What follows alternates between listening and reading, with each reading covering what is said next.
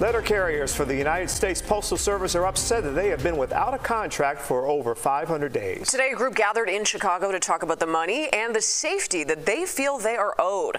We are listening to you, and CBS News Chicago political reporter Chris Tye is live at our control room with more on the sticking points here. Chris? There are a number of sticking points, Jim and Marie. There are 200,000 letter carriers that occupy city streets around this country, and they want to get this contract done. They say there are major issues that need to be resolved. Now, I should note all of these contract back and forths are happening behind closed doors. They don't know exactly where things stand, only that it's been over 500 days since their last contract expired, and they took to Federal Plaza in the loop today to try to get those voices heard. Here is what it looked like just around 11 this morning in front of U.S. Postal Headquarters here.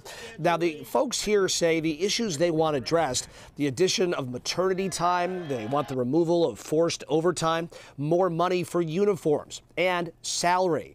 They say that they are grossly underpaid. They helped keep the country afloat, they say, during the pandemic. There's also the matter of carrier safety. Since the last deal expired, there was the shocking death of postal carrier Octavia, Octavia Redmond, rather, here in Chicago. Carriers want some sort of explanation of police presence to keep them safe. Any kind of form of uh, protection from the Postal Service, even body cams, give us something. They have a, we have a postal police force that only, believe it or not, they're there to protect the buildings. Not the carriers. Not the carriers. That's, that's kind of disheartening to us. The starting pay of 1933 is way too low. That's McDonald's wages. It's not attracting a lot of people to want the job that $19 is really something we heard a lot about. They compare it to a McDonald's wage. As you heard, the highest end of that ladder for carriers in the USPS is about $36 an hour.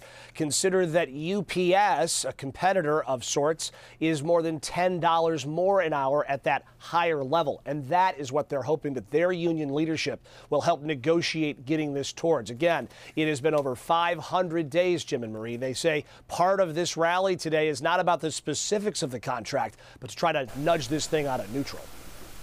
Chris Tye in our control room, thank you so much.